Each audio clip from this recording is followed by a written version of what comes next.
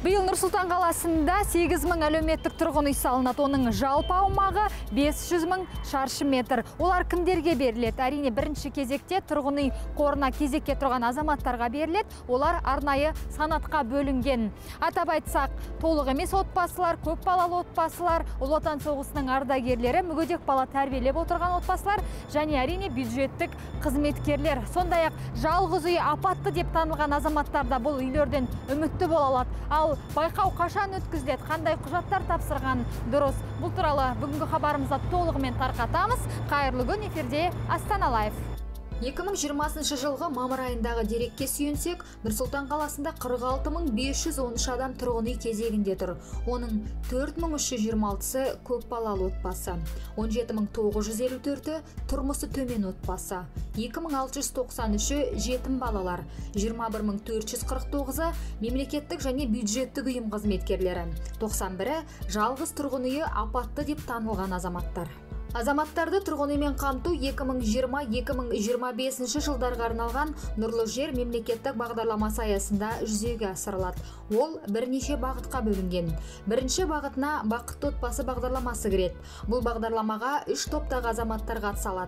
Көп балалы, толық емес және мүгедек бала асырап отырған отбасылар. Олардың табысы кісі басына екі ең төменгі күнкөріс көлемінен, яғни 62400 теңгеден аспауы тиіс. Бастапқы жарна 10 пайыз, жылдық үстемақы мөлшері 2 пайыз, несие 20 жылға беріледі. Сонымен қатар әкімдік бастапқы жарнаға қаражаты жоқ азаматтарға 1 миллион теңге көлемінде тұрғын үй сертификаттарын ұсынады. Биыл аталмыш бағдарлама бойынша 414 адам баспаналы болмақ.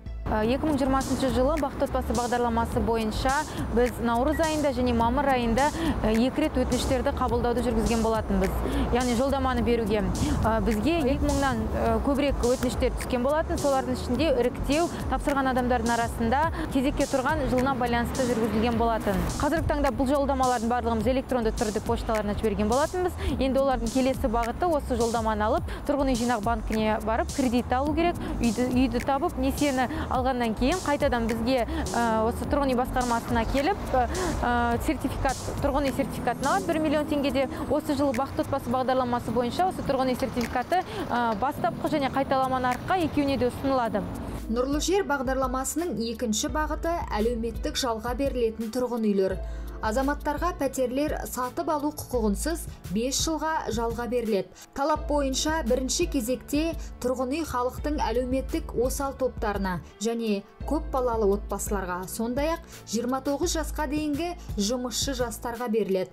Бұдан бөлек қала әкімдігі мыңға жуық әлеуметтік тұрғын үйді ұстаздар мен дәрігерлерге беруді жоспарлап отыр. Жалдамалы пәтердің бізде сатып алу құқығымен болатын қазақстан ипотекалық компаниясы арқылы жүргізілетін тағы да мыңға жуық пәтер күтіліп тұр.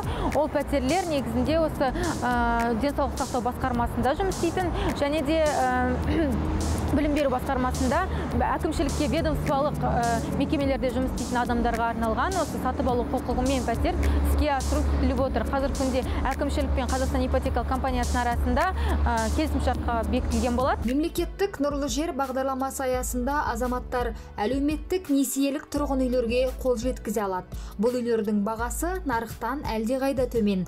Осы бағыт шеңберінде тұрғын үй құрылыс жинақ банкі 5 пайызбен 25 жылға несие береді. Бастапқы жарна 20 пайыз. Бұған қоса нұрсұлтан қаласы әкімдігі әлеуметтік аз қамтылған топтардан бөлек бюджеттік ұйым қызметкерлерін қолдау мақсатында бастапқы жарнаға 1 миллион теңге тұрғын үй сертификаттарын береді.